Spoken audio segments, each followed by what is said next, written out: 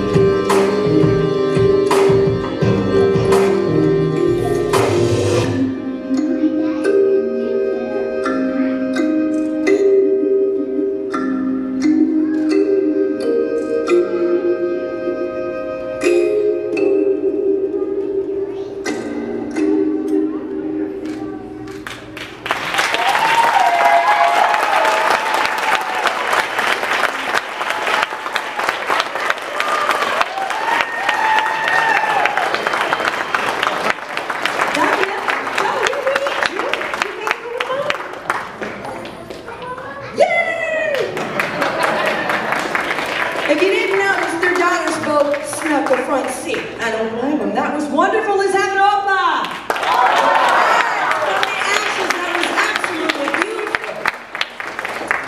Up next, Pixie is a tribal fusion dancer from College Station. She has been belly dancing six years, but trained in ballet since a young age. She teaches belly dance classes at Texas A&M, a local dance studio, and from her home. She's a member of two local troupes, the Brazos Raqs Ensemble and tribal fusion troupe Daughters of Ara. For a living, she creates feather adornment and bindis, and which you can find for sale right here today in the corner, right over there. I promise you're gonna love everything she has. You better get it before I do.